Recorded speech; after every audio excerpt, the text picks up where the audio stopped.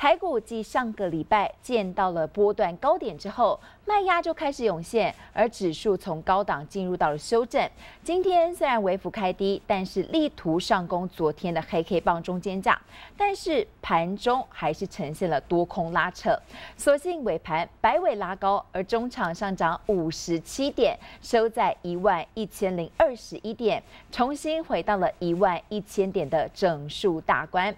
当然要观察一下近期法人还有关股券商的动向，似乎还是上演着你丢我捡的戏码。不过，尤其是八大关股已经连续两天加码台北股市了，而且买盘都聚集在近日卖压相对沉重的个股。这其中看到被动元件就占了大多数哦，像是国巨跟华新科还有达方，其实这两天看到八大关股每天都加码了百张以上，而市场就。传言其，这跟七月份劳动基金委托投信代操，大幅度出脱被动元件是有关的，因此关谷借此来逢低承接进行回补，也因为关谷的大力支持，带动了今天国巨还有华新科爆量止跌。只不过是不是真的回稳了呢？还需要再做观察。当然，另外瓶盖个股也是今天支撑台股上涨的主要动能之一。因为苹果即将在美国时间九月十二号就要发表了新 iPhone，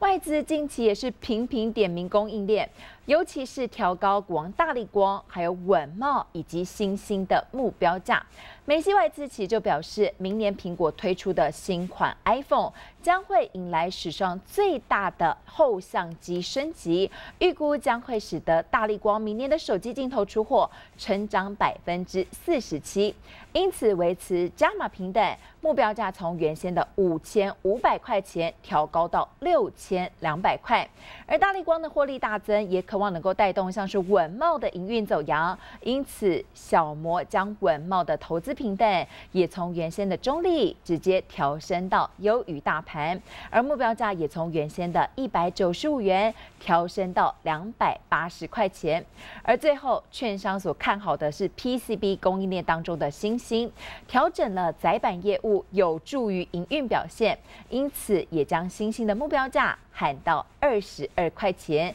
在这里提供给您来做参考。